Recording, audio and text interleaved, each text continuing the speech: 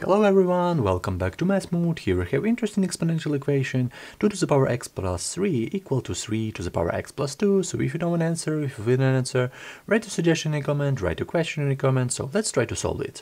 Of course we have x plus 2, x plus 3 right here, x plus 2 on the right, so we can break these, these exponents, this power. So if we have for example a to the power x plus y, we can write it as a to the power x times a to the power y really good root, really good rule, so use it, of course.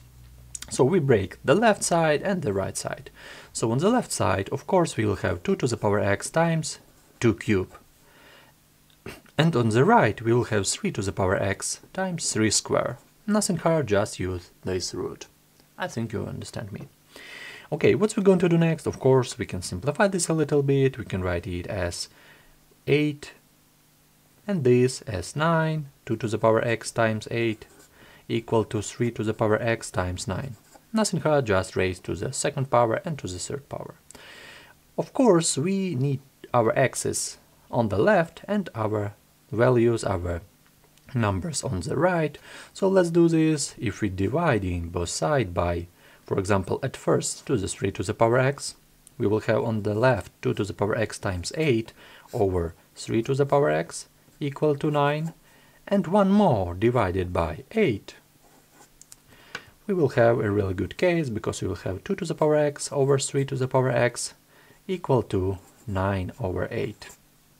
Nothing hard, just two steps. First of all dividing by 3 to the power x and second dividing by 8 and we have our x's on the left and our 9 over 8 on the right.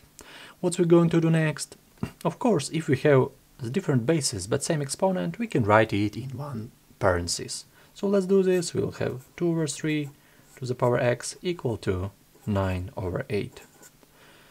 Really good case because we, of course, can solve it with natural log. So let's do this. Let's take natural log from the left to 3 to the power x and, of course, natural log from the right. As you know, if we have situation like that, if we have x right here, this x jump in the beginning. So let's do this. It's really good case because we will have x times natural log 2 over 3 equal to natural log 9 over 8. And the last step, dividing both sides by natural log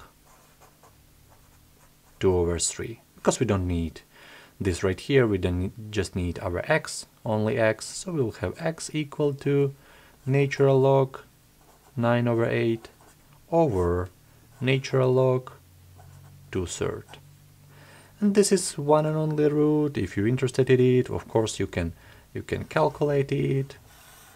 This is our solution. This is one and only root if you agree with this method, if you disagree, maybe you have faster method, maybe you have question. Thank you for watching, thank you for putting thumbs up, for subscribing, I really appreciate it, and see you in the next videos.